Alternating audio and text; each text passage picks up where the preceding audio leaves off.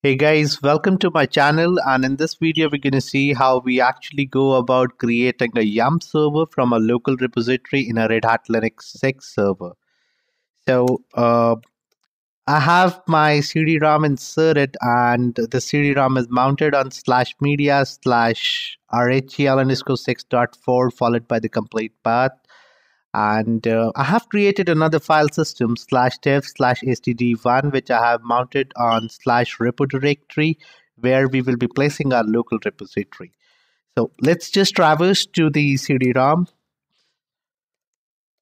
and within the CD-ROM if you see we got a packages directory that is located here. And let's cd to this directory let's list the contents and this directory has got uh, the RPMs that are available in the CD.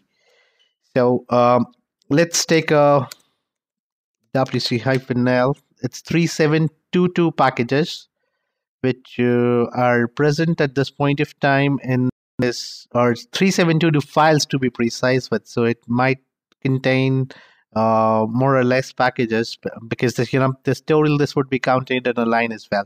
Okay so now let's do one thing. Uh, let's copy the contents of this directory to slash repo folder.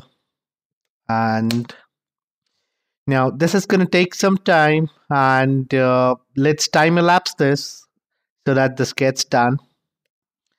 And that's perfect. It's been copied up right let's traverse to the slash repo directory and 3722 perfect. So all the contents are in the cd-rom in the slash in the packages directory have been copied to slash repo directory now the the next thing that needs to be done is to run the create repo command on the local file system or anywhere where you wish to place your local repository. So in our case this happens to be slash repo so let's run a create repo and run it on slash repo. And if you see that it, it returns us with an error that create repo command isn't found. Now, uh, since yum is not installed at this point of time and we're in the process of configuring yum, so we need to install the create repo package manually. So at this point of time, we are in slash repo. Let's do ls-l and let's grep for this package. And this is present indeed. Let's try to install it. And this complains of a dependency python hyphen delta rpm package. Let's search for this as well. And this one is present as well. So let's try to install this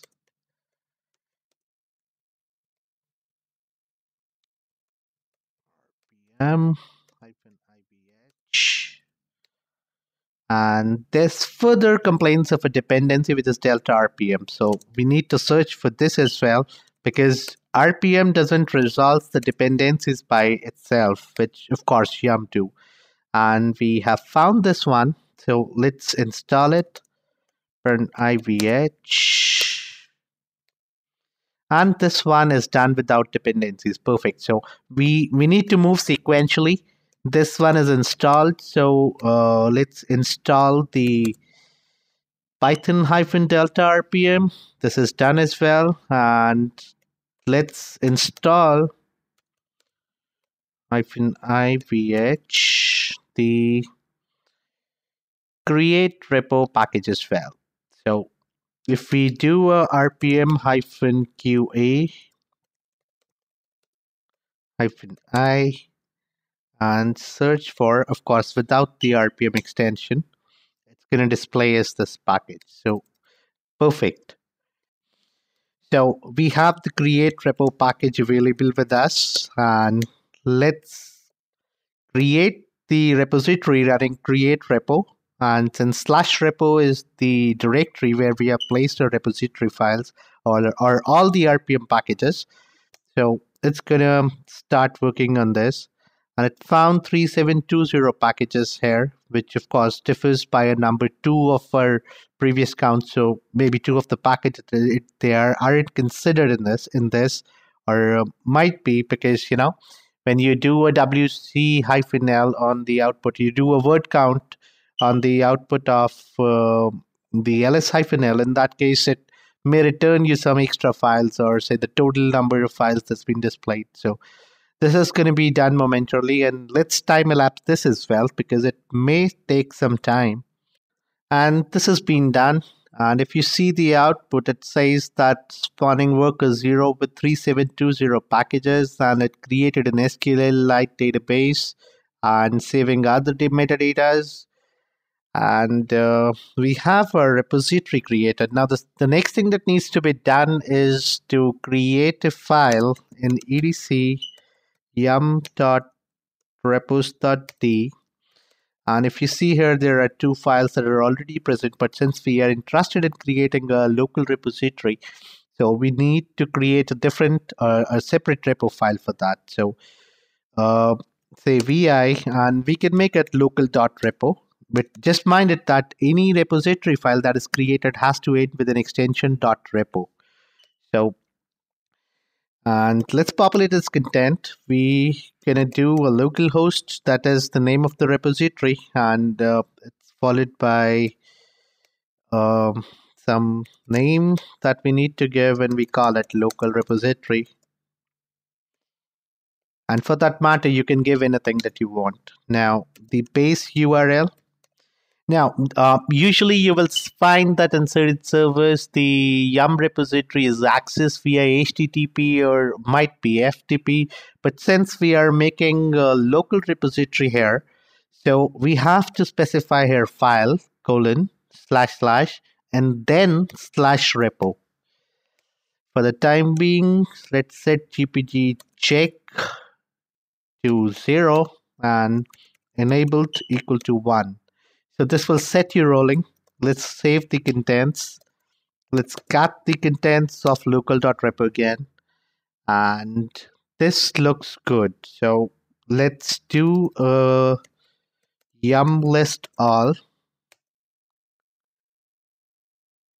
And if you see that these packages in yum list all are coming via localhost, if you remember, we, we named the repository, we tagged it with localhost name and the rest of these packages were installed during the installation time when the installation was done and probably this was the name of the repository that was uh, probably the cd that i used to in- install this server. So uh, this is done. And uh, let's try to install a package. Yum. Install. And let's see what what it says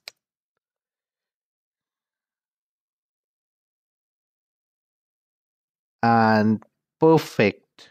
Let's echo the exit status. And this has been done right.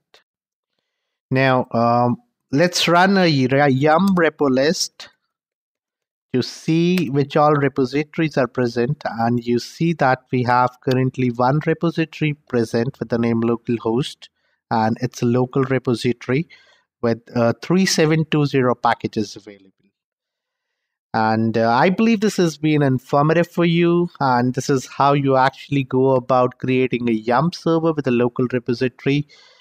I'll request you all to subscribe to my channel in case you haven't done till now because I keep on posting some interesting Linux videos and on other technologies as well. Probably in the meantime, in, in, in some time, I'll be doing that.